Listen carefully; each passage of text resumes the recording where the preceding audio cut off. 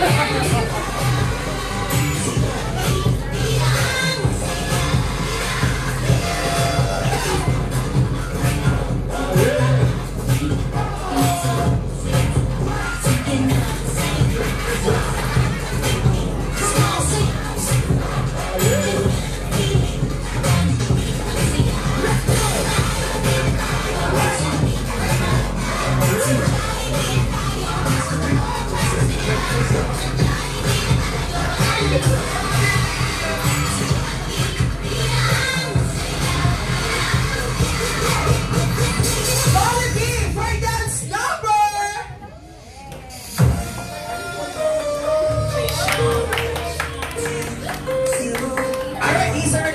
birthday boy.